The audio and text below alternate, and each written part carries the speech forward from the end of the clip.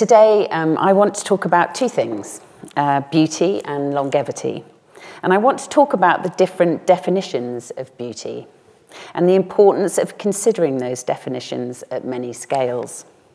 Because I believe beauty should be at the heart of all development, a key ingredient to ensure design excellence is built excellence in our built environment. But what makes good design? I believe beauty should be at the heart of all development.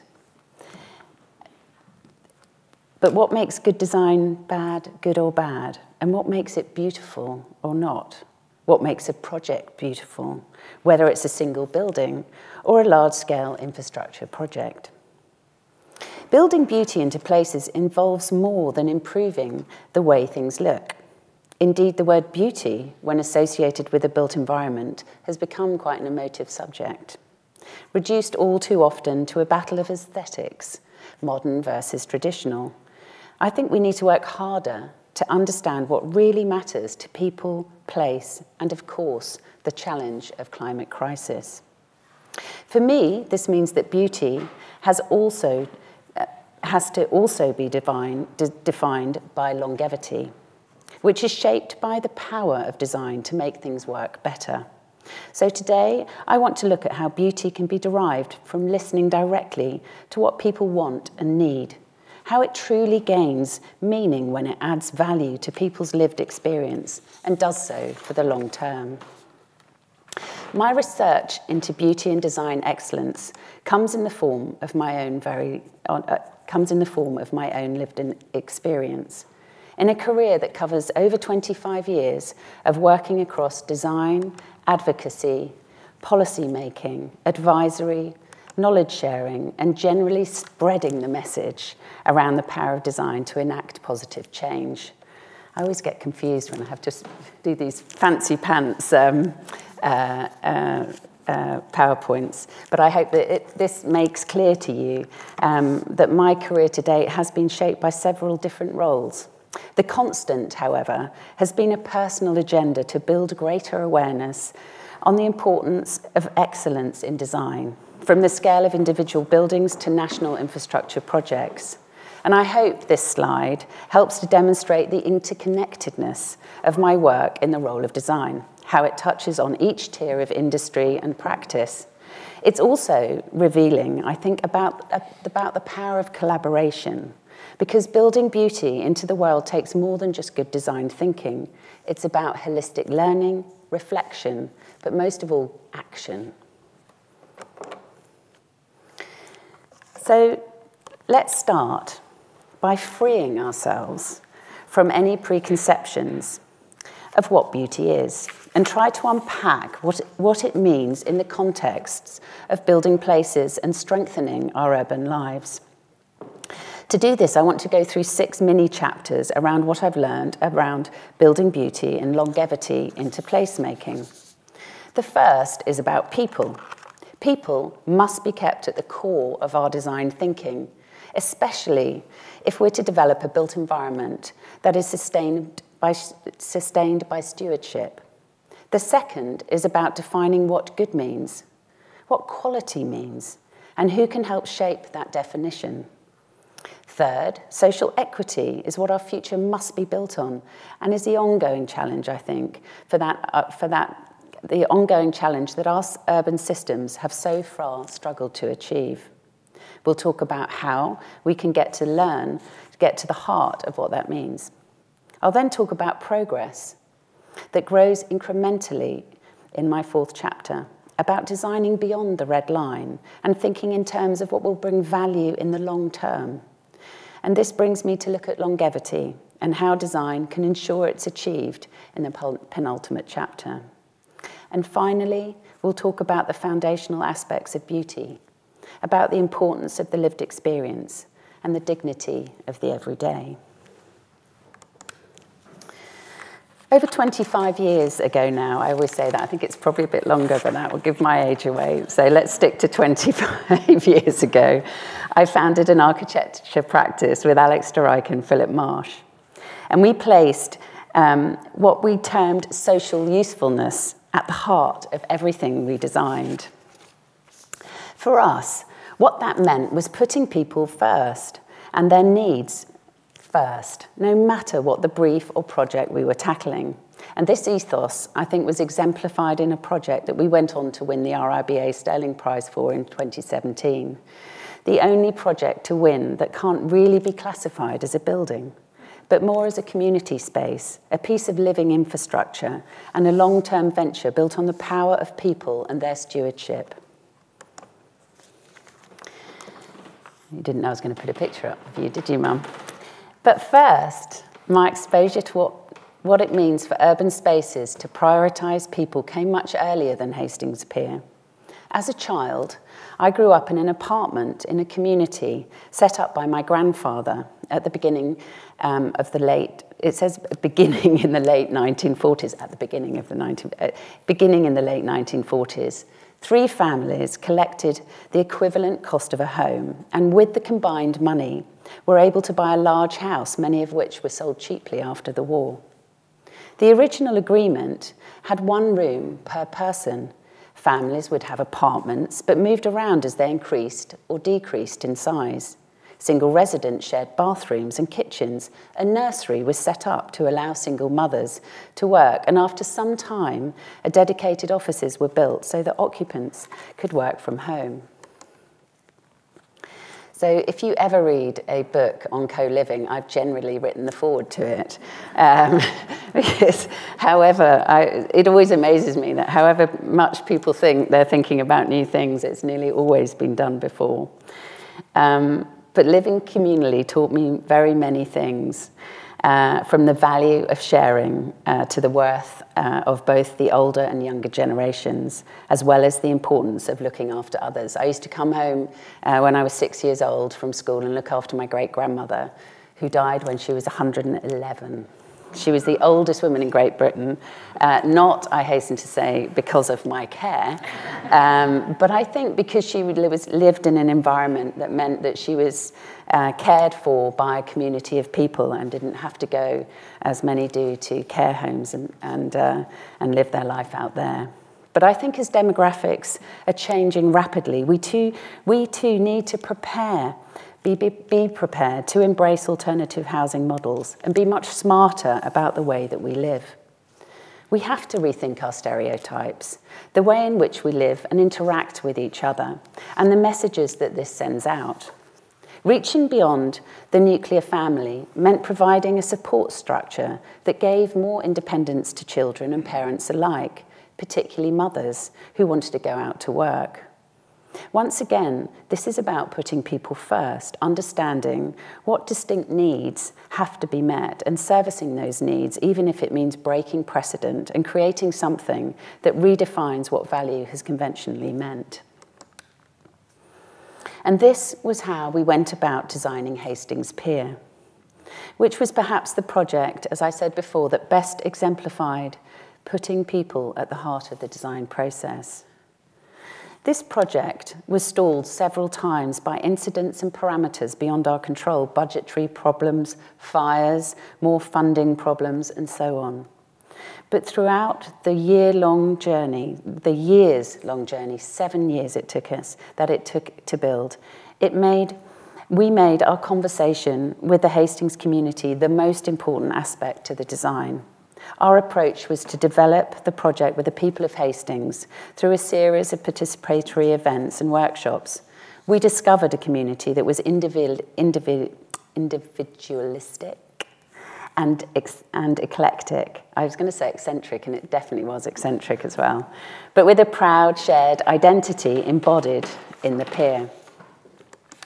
Through this creative process, we realised that what the Hastings community actually wanted out of a pier was simply a platform, a serviced platform for several different uses, a flexible space that would reflect the diversity of Hastings. We took that as a cue to build a space that gave importance to rebuilding the structure and making a well-serviced deck, as opposed to making a grand architectural statement. As such, the majority of the grant from the Heritage Lottery Fund for, that the project had been bestowed for its regeneration went towards funding below deck repairs and replacing the deck and balustrades. We also worked with Hastings and Bexhill Wood Recycling as part of a local employment initiative to create reclaimed timber deck furniture, giving the community control over the actual production of the pier's new design.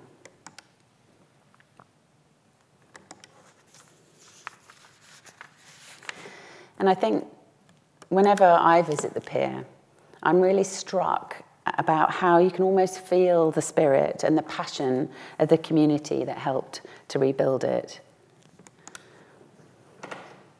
So for us, as an architectural practice, Hastings, Pier, Hastings Pier felt like the culmination of a principle that DRMM have stuck to throughout its existence, to prioritise environment and people when making places, rather than a personal or vanity-driven architectural desire. So I think this brings us full circle to the idea of having a people-first approach to building beauty into the environment. At Hastings, like many of our projects, we weren't looking just as architects, but as orchestrators, helping to consult on needs, define a brief, create a vision that helps communities and clients to achieve often what seems like an impossible dream. The second point I want to discuss is the notion of defining what good is, what value is, and how do we make sure that we continually test those definitions and be prepared to adapt our thinking as we learn more. I've always fervently believed in the power of collective and collaborative thinking bringing together the right people to put their skills, talents, and passion to making things better can't be beaten, even when it comes to, regen- when it comes to generating holistic value. At the beginning of my design career, I never imagined that I'd be advising on the value of design excellence at government policy level. As a commissioner on the National Infrastructure Commission, I have been given a voice that articulates a different perspective, one that has helped to change the way design is perceived in national development, meaning that it's no longer considered a bolt-on benefit, but part of what will make large-scale projects stand the test of time and remain fit for purpose. And for my part, I hope to bring imagination and a human perspective to the heart of government's thinking, to play my part in helping our industry move towards a healthier, happier, and more compassionate and greener philosophy. Within infrastructure, an industry that has holistically prioritised time and programme, understanding what is meant by good design is still challenging. There are still deep-seated prejudices and preconceptions among clients, planners and developers around the subject of design, mainly that it's expensive and jeopardises timely and cost-efficient delivery. The National Infrastructure Commission was established in 2017 to provide impartial expert advice on major long-term infrastructure challenges we carry out in-depth studies into the UK's major infrastructure needs and make recommendations to the government. Our work covers all sectors of e economic infrastructure. And I'm personally proud that during my time on the Commission, the National Infrastructure Commission also set up a dedicated design group which exists to inspire, promote and champion design excellence in all nationally significant projects. Moreover, in April 2018, the Commission established a 16-strong young professionals panel after I pointed out that as the youngest commissioner, I would probably be dead in the 30 to 50 years uh, that we were uh, setting uh, our national uh, strategy for, um, to provide the perspective the perspective of, in, of infrastructure industry professionals at an earlier stage in their careers. And I have to say, it was an extraordinary thing to do. We had over 500 young people apply um, for 14 positions. And um, this is, this is uh, for something that was advertised on gov.co.uk, which I'm sure, as you may know, is possibly not the place where young people generally go uh, for, their, um, for their job uh, opportunities. But I think it just went to show the, the, the passion that the next generation have to get involved in policy and to try to um, help shape a, a future that they can be proud of. And three years later, we achieved consensus at government level that design integrity needs to be at the heart of all national infrastructure. And this is a clear example, I think, of defining good and the effort it takes to rally the right people to do so.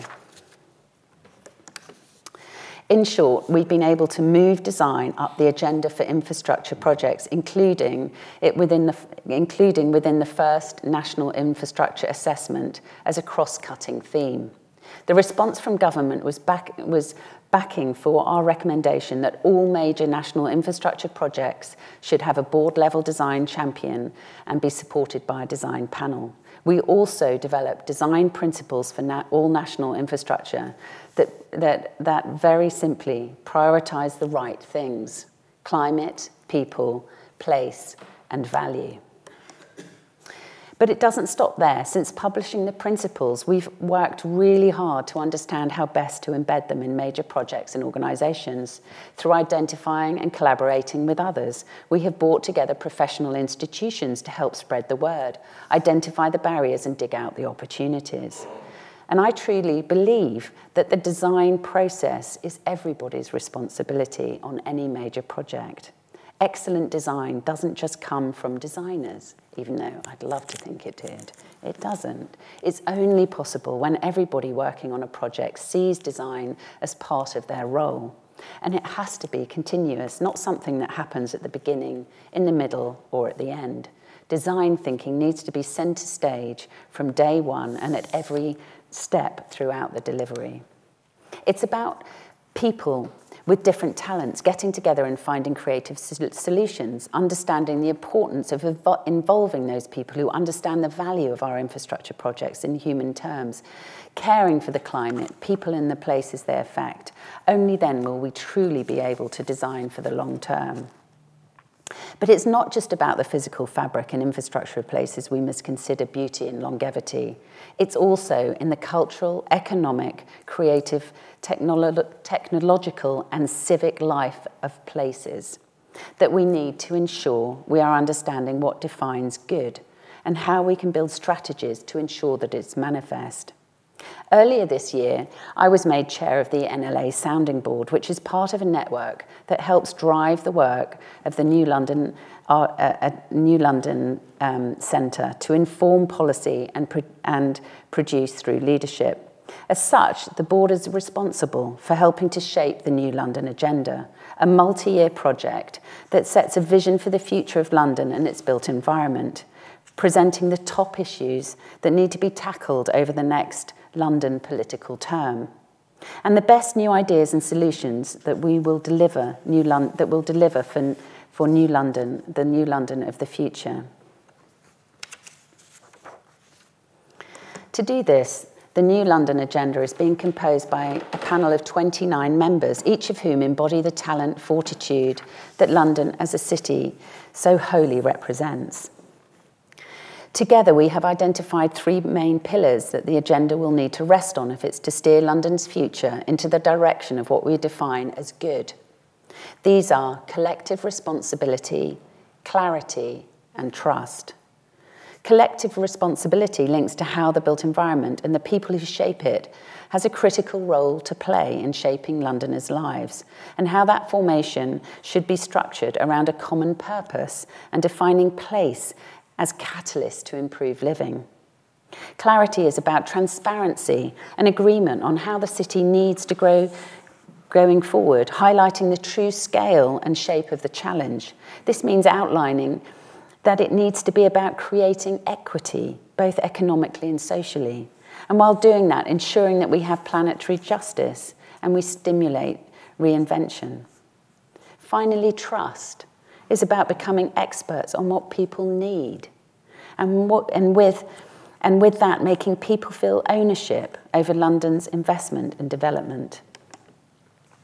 In order to reach these pillars and carve out the detailed agenda for London, the NLA Sounding Board has and will work to a set of focused areas that each support the building of a more beautiful and robust life for city. This is about being specific in our definition of what good is. And again, coming back to how people experience urban living and what brings value and quality to their lives. So far, the experience chairing the, the sounding boards have revealed a clear focus on equity. In the case of the NLA agenda, it's about understanding how the capital, um, those who shape it, can continue to define what equity looks like for the city. As placemakers, our, prioritize, our priorities to decarbonise, digitise and respond to profound inequalities in health and equity disparities have brought up a new challenge. How do we find out what a balanced, fair and nurturing built environment looks and feels like? In 2018, with the support of the late Tony Pidgley of the Berkeley Group, we set up the Quality of Life Foundation. Our aim to understand how people's lived experience of their built environment could improve their quality of life. The foundation does this by helping to make well-being central to the way we create and care for our homes and communities. Active, participatory and people-led research is a big part of how we implement our goal. So going back to chapter one, people first. When we first launched, we began by using our nationwide research to publish a framework of quality of life principles that could be applied to all scales of placemaking. The principles are a practical guide to help ensure that both urban and rural living is defined by well-being. The foundation maintains that excellence in design is achieved not just through the aesthetics or physical interventions, but when designers and placemakers find solutions that respond to both universal problems that affect people indiscriminately and distinct problems, such as accessibility. The key to our research is knowing where to look and who to ask to find out what these prevailing problems are. In a snapshot, this is our remit. Aside from drawing knowledge from experts to define what good and what will promote well-being in the built environment, we also conduct ongoing research and people-facing surveys around what it means to communities. The Foundation then builds and shares our evidence base to show how the housing system should focus on people's long-term health and well-being. We also support local authorities, developers and housing associations to implement best practice. These are the principles of our quality of life framework. The framework brings together all of the Foundation's work to date into six overriding themes. Control, that means people have control around the decisions that are being made about their built environment. They have influence, they feel safe in their environment, and there is a sense of permanence about where they live. Health, and that talks about the housing, the importance of making our homes great places to be in, not to have mold dripping down the ceiling or down the walls. It's about air quality. It's about the, it's about the air that our children and we breathe. And it's about recreation and encouraging and making sure that we have places that we can keep ourselves healthy in. It's about nature it's about ensuring that everybody has access to nature, that our the nature is not only biodiverse, but is, is gives something back to our communities. And it's also about the environment. Wonder It's about culture, it's about distinctiveness, and it's about playfulness. And I don't just mean for children. It's important that we all really enjoy ourselves and have some fun. That really does add to our quality of life and freedom of movement. And that's about making sure that our environments are well connected to public transport, that we are, are actively promoting walking and cycling, and that when we do need to use a car, we have to think carefully about how we do that. And finally, community, something as you might understand is really close to my heart. This is about diversity, it's about opportunity, and it's about making sure that we have everything that we need close to our homes.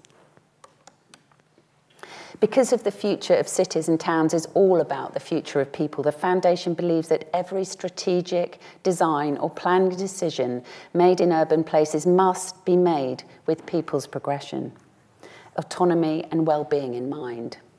We have steered processes of neighbourhood by design, where communities have an active hand in the ways their environment is shaped. Perhaps our biggest effort to date is interrogating how we can achieve social equity in the way we build places has been our work on the Community Consultation for Quality of Life research project. CCC Qual aims at developing a new map-based model of community consultation that takes place both online and face-to-face -face in community spaces. And this means it brings about a tangible way to derive knowledge from end users, from people, to better define what makes places good, beautiful, and what makes them so for the long term. One of our studies centred around Harlow and Gilston, a garden town which has been earmarked to deliver over 16,000 new homes by 2033 and a further 7,000 planned for the Gilston area to be built from 2033 onwards. And we've worked with Harlow and Gilston um, Garden Town to map, map out what local people value and need in their local area through a public digital consultation. And this study was really comprehensive and detailed, revealing exactly what equity looks like in this distinct city and helping to build a route map towards how it can be achieved.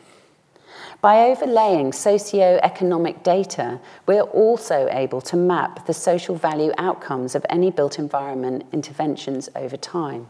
A rich source of intelligence that will help better shape cities in order to maximise wider benefits for the communities that they serve. The experience of our built environment, I think, speaks to our national identity. It says something about who we are and what we're good at.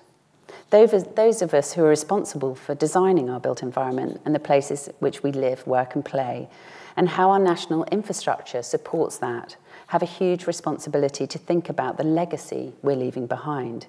And legacy building at national levels is essential if people are to be emotionally invested in places, and it applies to development on a countrywide scale. One of my roles as the independent chair, as chair of the independent, I keep saying independent, as the chair of the independent design panel for High Speed 2, for the last seven years, working for the Secretary of State, the panel has acted as a critical friend to the project, helping to make sure that the designs adhere to the design vision. There have been many good examples of how positive challenge can improve the outcome, one of which has been a cultural shift around thinking beyond the red line manifest in the setting up of an urban integration team whose work on both urban and rural integration has helped to encourage the use of diverse teams and more strategic thinking that looks to have long-term impact rather than short, quick, uh, short, quick fix solutions. By focusing on the surrounding environment, there is more opportunity to design beauty and longevity into infrastructure beyond its primary or central function. An example is the Old Oak Common Station, which will be a new transport hub in West London and will play an important role in the regeneration of the area around it. A key part of the proposals is a new public park, a green space, which will welcome visitors and provide a new focal point for the growing community.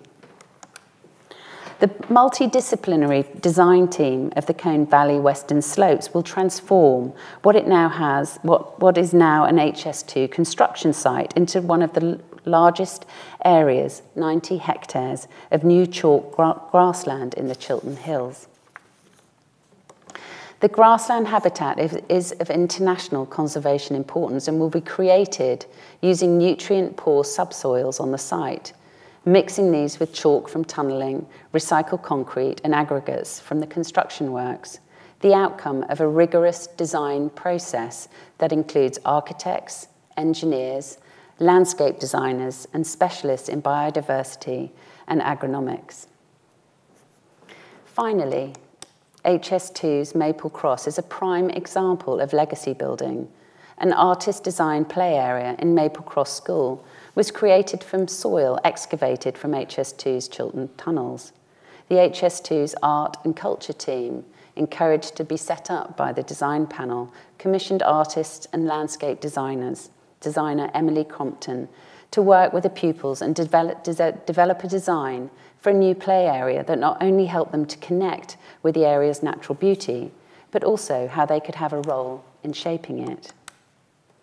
And if we want to look at infrastructure urban design project that has truly impacted in regeneration and building beauty beyond its red line, we just need to travel to King's Cross in London, where the new station has become a fulcrum for radiating phases of improvement in the King's Cross area. Within the region of the station, King's Cross Central has become a significant residential development and the home base of one of the largest urban regeneration projects in Europe. Its design fosters neighbourliness and maximises personal space inside and public space outside. DRMM's building, Art House, became one of the first phase first phases of the housing blocks within the regeneration, and our design put forward apartments that are principally dual aspect, with big views to King's Cross, the Regent's Canal and its environs. We made sure all apartments had full height glazed facades, which maximised the views and feelings of space and light. The for sale had the exact same specification as the affordable or the for rent, all with a sense of identity and a canal side address. An example, I think, of how the power of design excellence, both at macro and micro levels, has led to an exemplar regeneration project in the UK. The scale of this regeneration has since expanded throughout Town in the form of Camden's ambitious community investment programme, the programme that will deliver affordable housing, community facilities, a primary school and private housing within a redefined public open space. DRMM has designed Brill Place, a human-scale tower that will provide affordable housing through the delivery and sale of private ownership apartments. This ambitious brief demanded the smallest possible building footprint whilst maximising value within a highly constrained central lo London location, helping to find ways to build equity at the same time ensure the city can survive for the long term. I think it's all very well insisting on good design, but ensuring that it's embedded within the project from the outset and fed through the procurement of the supply chain is something else. Part of the process of ensuring design quality and beauty is to make sure expectations are clearly set out from the concept through to delivery. And I think this can be really hard when you're, when you're doing so through written specifications open to interpretation, and lowest common denominator mentality. The question of how we can better articulate our design expectations in a way that is inspirational yet affordable was something that we tackled early on in the design review process. Building on the importance of what it takes to define what good, what's good, what can promote beauty and function, and what can harbour longevity. We chose to describe what we believe to be good design by way of a process of testing and demonstration. So we managed to convince High Speed 2 to instead of just saying, we want good design, and so transferring that responsibility to contractors without unpacking actually what it meant, the HS2 project for Colne Valley Viaduct looked for a way to develop a language of demonstration. High Speed 2 employed an architect, Mike, uh, Martin Knight Architects, to design the Colne Valley Viaduct to a given budget, working closely with the local community to envision a solution that was led by high quality representative design. We called it a specimen design an exercise to showcase what the art of the possible was and to lead stakeholder consultation between HS2 and the multiple statutory and public bodies with interest in the project to ensure that the lowest common denominator was not the outcome achieved. So the difference between the two, I hope you can see. And I'd like to say that the proof is in that proverbial pudding with the Colne Valley now under construction, hailed as an extraordinary feat of engineering and architecture designed to enable views across a beautiful part of our British countryside. In other words, it's about breaking down the language of design and showing how it could work to create places with identity without spending more money than, meet, than meeting the status quo. HS2's urban design and integration work, including the range of urban and context and context integration studies, is a great way, I think, of helping to identify and unlock the wider benefits of the project supporting collaborative conversations with planning authorities, stakeholders and communities, and providing context to decisions and helping to secure a positive legacy for HS2. I want to end this talk on a note of positivity, the kind of positivity that's brought through hope, humanity, and finding beauty in places where it might feel hard to find. The philosophy of the Maggie's Centres really brings together all of the points that we've gone through this evening. It's about starting with people, understanding what's good and what's valuable to them, and then using design to make sure that value lasts in the long term. It's also about legacy, about carving out an approach and a, and a worldview that some may have found radical to begin with but which has proven to bring out joy and grace, and which has proved to bring joy and grace to people's lives. Maggie's offer free practical and emotional support for people affected by cancer. And when they approached DRMM to design the centre in Oldham, it was a real honour. It, it's like being awarded the, uh, a, a, uh, an Oscar getting this commission because it's a commission, I think, that felt totally in step with the way that we have worked and in tune with our ethos and beliefs. We made sure we knew everything we needed to know about the history of the centres, going beyond peripheral research, to make sure we understood the philosophy behind the architecture of hope. Expressing that philosophy through a, through a building meant combining our pioneering research into timber architecture with the ideas of a people centred healing environment. For us, the use of structural timber was an obvious choice for all its environmental, tactile, and construction benefits. So, so we went about designing what beauty and hope would look like as a timber building. The brief for Maggie's was for us to design a safe and welcoming space, an uninstitutional building, more akin to a house. Visitors were to feel encouraged and not daunted. Supported on slender columns, the building floats above a garden framed by pine, birch, and tulip pop popular tree, poplar trees. On entering, the visitor is met within a, with a space light and unexpected views down to the garden below and up to the sky and out to the Pennines.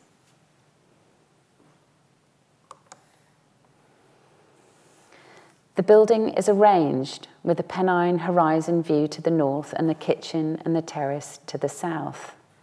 And from a central oasis, a tree grows up through the building, bringing nature inside. A conversation between landscape and architecture a space for gathering strength and celebrating being alive, for however long that might be. The plan is free flowing but articulated to give privacy for each of the many overlapping issues and uses and activities that patients undergo throughout the day and as part of their care. Maggie's Oldham is the first permanent building constructed from tulip wood, tulip wood cross-laminated timber. Timber has proven health benefits, but it's not only the reason it works here. It works because it's straightforward, familiar, recognizable beauty. There is nothing confusing about whether timber is beautiful or not. So in conclusion, building beauty and longevity into places, is about turning to solutions that work, that are proven, and are based on clarity and simplicity. It's about holistic learning, reflection, and action. And to do this, we must ensure that we are listening, we're collaborating meaningfully, and we're always considering the world's depleting resources. I believe beauty comes from within, that there is beauty in simplicity at all scales, and there is simplicity in the formula for good design. It's just about responding to people's needs, desires, and the aspirations that unite us. Thank you.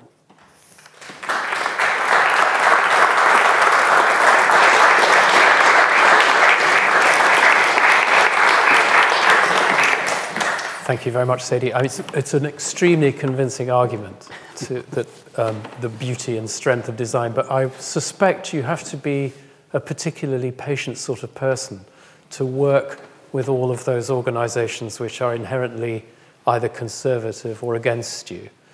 And some of the things you talk about in, in nudging these big development projects forward must drive you crazy.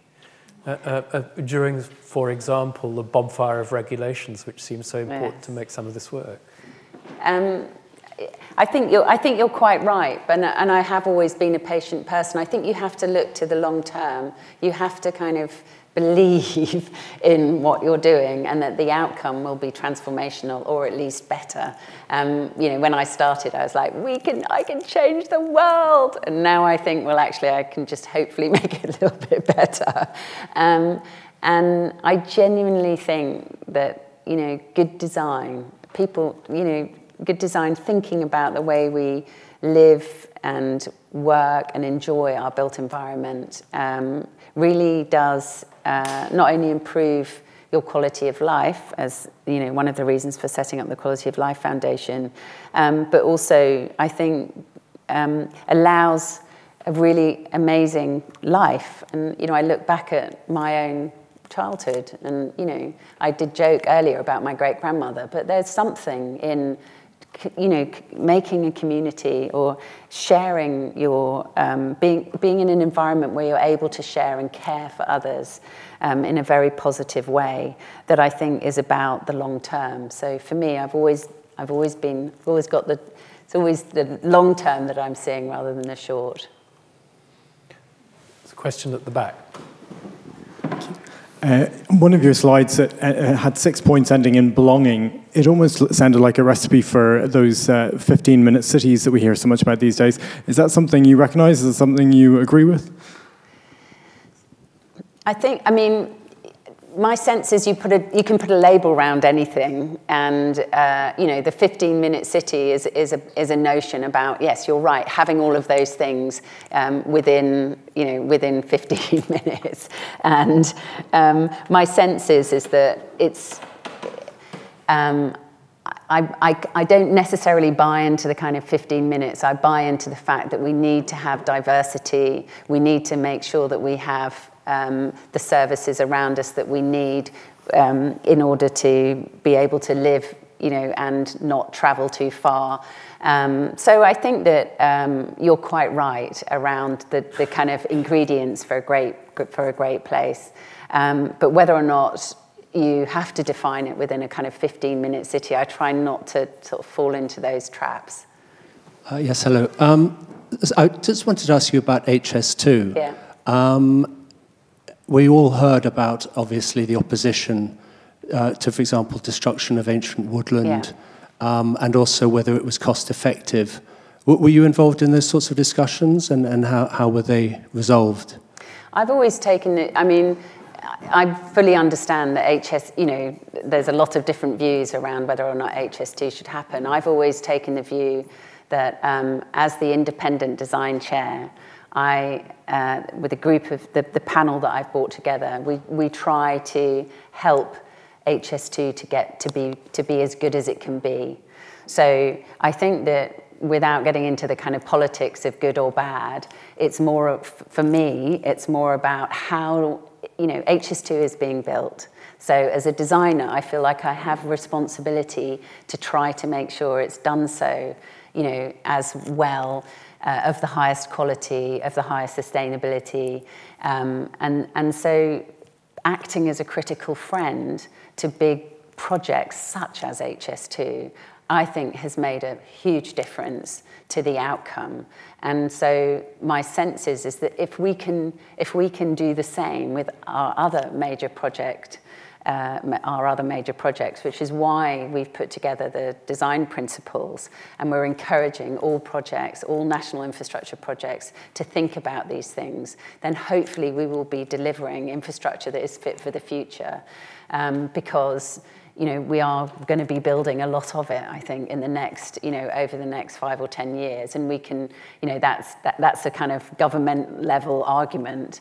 Um, what I'm interested in is to, is to try to ensure that when we are delivering our infrastructure, that it is, um, you know, thoughtful of our environment. It, it, it look, you know, it's intuitive, it works for people, it's respective of, of our environment, and, it, and it's properly, um, and we think about the value that it can, that it can offer. And that is about, um, I think, looking beyond the red line of, of big infrastructure projects and seeing how we can um, extract best value from the, you know, from the investment.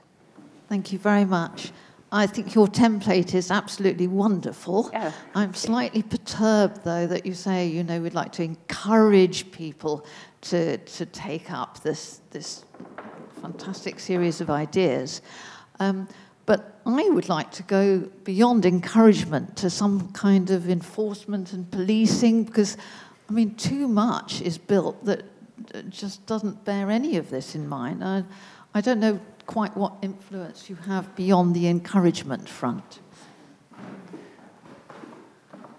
I think it's a, um, it's a really good question. You know, how do you um, ensure all our built environment is, you know, covers all of those things and uh, that we see as, as the key ingredients to, to making places, making places where people want to live and improve their quality of life.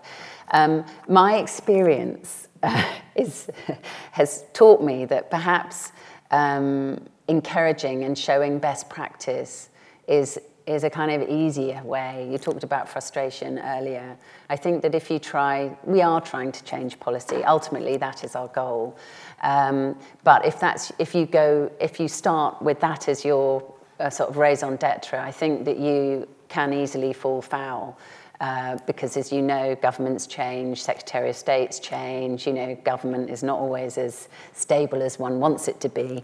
So I've always taken the view that if you can show uh, if you can um, show through best practice and through example, then uh, and create something that has momentum. You know, Quality of Life Foundation now has real momentum. We've doing nationwide research pieces. We've got incredible support from the National Lottery, community funds, from uh, UK innovation funds. You know, we, we are we're doing some really really interesting stuff, and I think that if we, if we can put that out there, we can encourage developers, local authorities to use the framework, many of which are, are now doing so, then hopefully that will show um, uh, you know, central government that actually there is an interesting way of doing things. And, and my sense is, is that if you although the argument is developers will often do the absolute minimum, I think there is an understanding that people's values are changing and that actually if you want to progress and, and, uh, and be competitive, you have to think about creating places that are properly sustainable and for the long term. So those developers who tend to be picking up on the proposals and working with the charity and the foundation are those who understand the value of doing so. And one hopes that that would encourage others. I'm a carrot girl rather than a stick.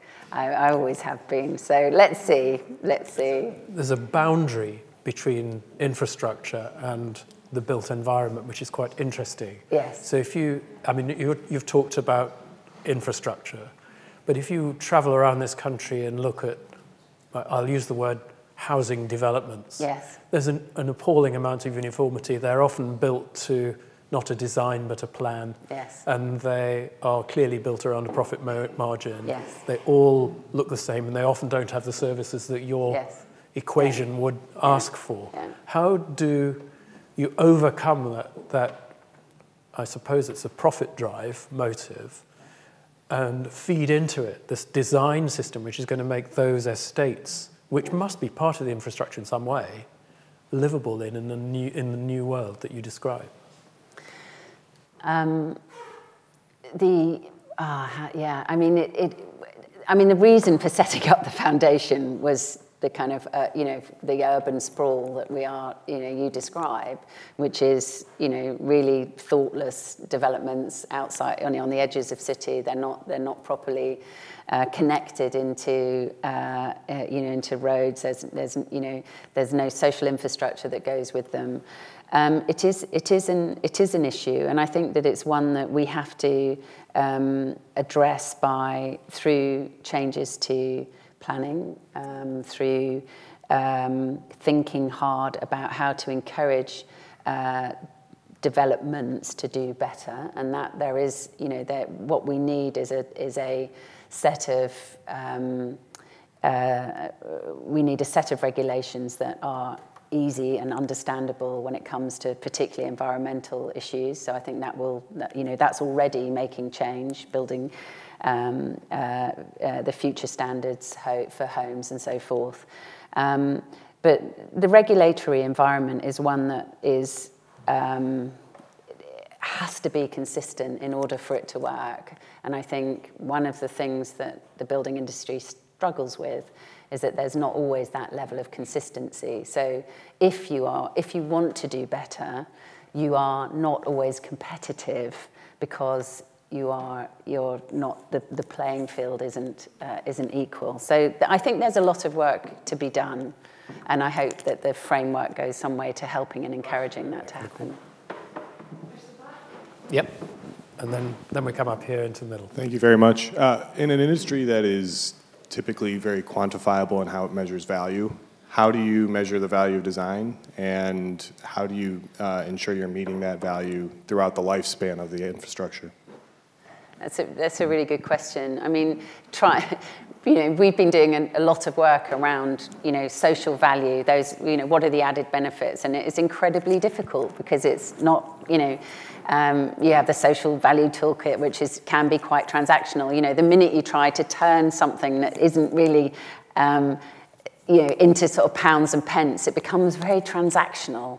And so, how do we capture the lived experience? That's something that we're trying to do at the foundation. How do you make sure that you are valuing that, the valuing the things that matter to people? And how do you then show that this is um, this adds value over time. One of the things that we've been doing is a lot of post-occupancy evaluation around the principles, and this has been really helpful because we go back to communities and we, you know, we ask them how uh, their, the environment has affected their quality of life around these around these principles. And we've, you know, we've only been up and running three years, so we are looking at developments have obviously been around longer than we have as a as a charity, but. Um, we are already seeing um, uh, the, the feedback from, from those, um, uh, from those uh, improving the next kind of iterative um, process of uh, developing. And that's because the answers that come back aren't always the ones that you expect.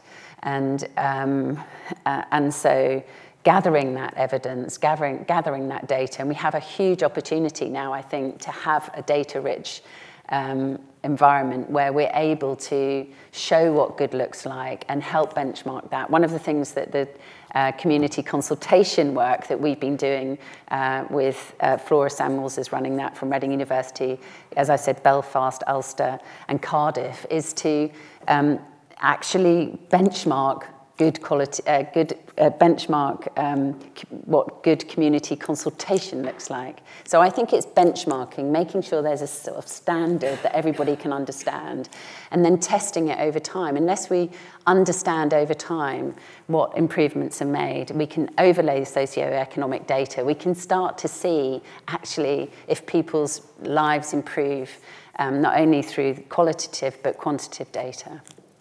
Let's go to your question. Thank you. Um, I just sort of wanted to second on from what you've just said about infrastructure and then the built environment. Um, I'm a water engineer, mm. so it's I, I, work in clean water, wastewater, flooding.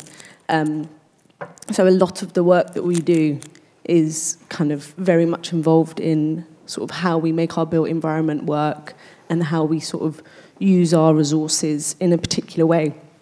But I think a lot of what, and I'm very early in my career, but um, a lot of the work that sort of I've found is more just about the, ac- the accountability and sort of what I can do as my role as a water engineer and sort of my kind of responsibility to design good quality water infrastructure. But then you're working in a big sort of legisl- lots of legislation, lots of big frameworks, and sort of how does that work with privatization and profit and when we're building and designing public infrastructure to, for people to live and work in and to enjoy. But where does that kind of accountability come in when sort of profit comes above people? I think if you, I mean, I'll answer one of your questions, I suppose, which is, is you know, what can I do, you know, um, as, an, as an engineer? And I'd just like to go back, I suppose, to one of the points that I was trying to make earlier, which is that design is everybody's responsibility. And one of the reasons for putting together the design principles for national infrastructure was in order to help do that. So it's, it, it looks at climate, people, place, and value.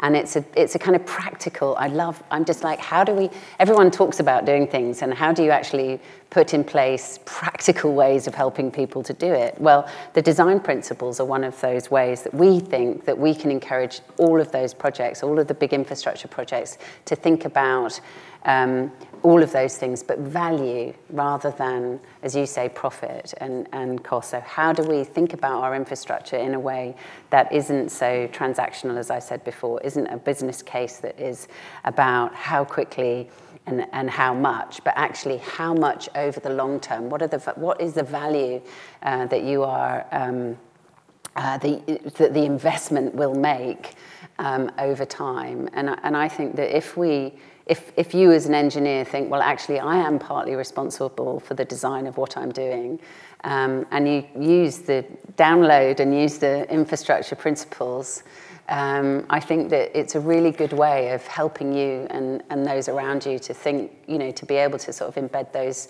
um, uh, within, you know, big and major infrastructure projects. Who have I missed out? Yusuf. This will be the last question, I'm afraid. I'll try not to make it too difficult for you, but uh, um, I agree with you totally about design, and I think there's value in design, and I think for the benefit of future generations, it's great. And another thing that is important, which you did mention, was diverse communities. Yes. At the moment, we have a, a system for deli- delivery of housing that is almost privatized.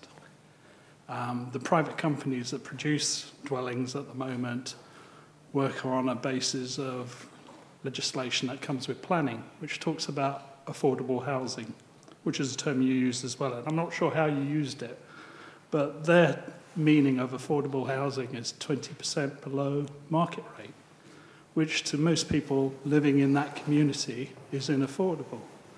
They can't, either they have to extend themselves financially and get into trouble, or they just turn the offer down and the developer says, see, I can't sell these. I need to sell it to somebody who can afford it. So, in effect, legislation is creating more exclusivity rather than diversity.